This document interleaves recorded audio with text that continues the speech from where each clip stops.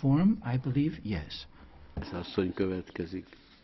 Madam Gomes. Mr. Chairman, I'd like to take uh, the opportunity to also congratulate my colleague Ms. Janaka for her report. I think her philosophy, her approach to the, uh, the matters dealt in her report very much coincide with mine uh, that uh, uh, has been uh, adopted by the Committee of Foreign Affairs and that will be voted by us tomorrow on the maritime dimension of CSDP. Uh, the thinking is similar, the concerns as well with the, the, the, resources that are needed to indeed pool and share these capabilities and the need to plan for the future are essential. And to actually understand the major threats and challenges, I, I also want to thank all the contributions of the different colleagues.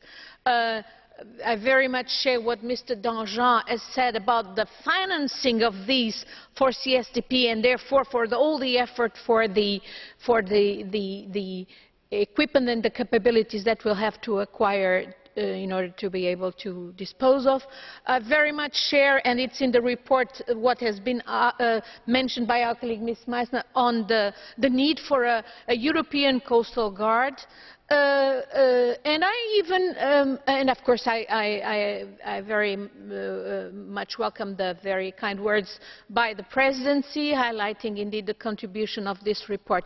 I also welcome the criticism, most of the criticism, because of course they, they, they, they stem from a point of view which is anti-CSDP, anti-Europe for defence and security. I believe that this Europe for defence and security is essential not just for the European citizens, but actually for the world, because I actually see and believe in Europe as a global provider of security and of, as a global provider of respect for international law, because obviously everything that is in our reports must be conducted in due regard for international law and in the case of the maritime dimension for of course the uh, UN Convention of the Law of the Sea. I take issue with one of the critics by my colleague Mr Bütikofer, who is not there anymore, who accused me of imperial nostalgia. I'm sorry he doesn't know, but I fought against colonialism in the old days, in the dictatorship and the colonial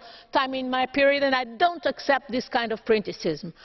Uh, I hope he doesn't have to swallow what he said. If one of these days a cruise ship with, uh, full of German vacationing citizens would be uh, the target of a terrorist attack somewhere in the middle of the ocean, maybe in an area under the control of my country, which despite being the third uh, country of the Union in terms of uh, economic uh, uh, zone and the tenth of the world doesn't have the capabilities to actually deal with a, major terrorist attack if it occurs in our waters. And that's exactly why we need Europe. I hope he doesn't have to swallow that.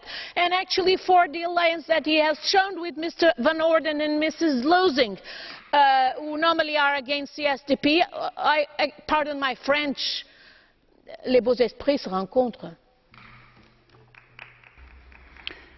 Köszönöm szépen. Thank you. Having listened to the debate, I don't think that there is unanimity in the room, which is not a problem. This is a very serious topic, and uh, therefore, permit me to uh, speak a little bit lightly.